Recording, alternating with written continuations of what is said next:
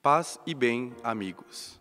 O mês de setembro é dedicado pela Igreja à leitura e reflexão da Bíblia, relembrando a comunidade cristã a importância para o cultivo da vida espiritual, tanto individual quanto comunitária. E, no intuito de compreender um pouco mais a palavra de Deus, nas próximas quatro edições ouviremos canções que têm por inspiração passagens bíblicas.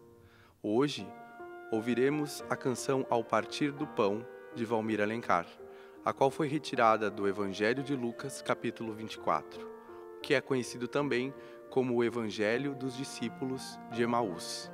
Emaús, uma pequena cidade localizada na região da Palestina, onde se relata a esperança dos discípulos fragilizada após a morte de Jesus, estando eles sem rumo, sentindo-se perdidos, mas que reencontram o sentido da vida no partilhar do pão, reconhecendo nesse instante que Jesus está vivo, ressuscitou e, portanto, a alegria voltou.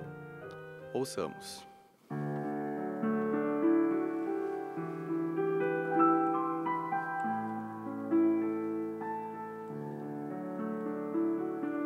Quem podia imaginar que aquela cruz era só o começo de uma história de amor?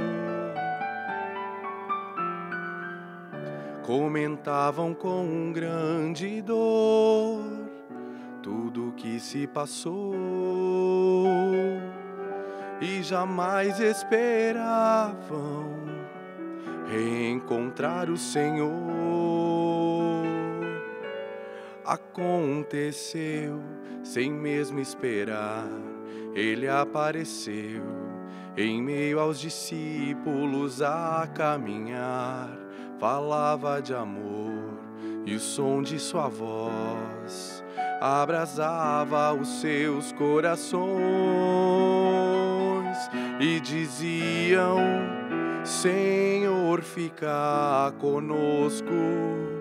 É tarde, o dia declina, quase sem esperança, partimos sem direção.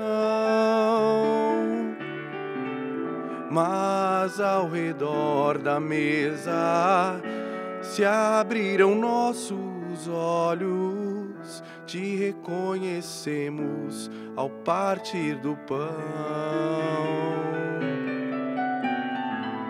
Senhor, fica conosco. É tarde, o dia declina, quase sem esperança, partimos sem direção. Mas ao redor da mesa se abriram nossos olhos, te reconhecemos ao partir do pão.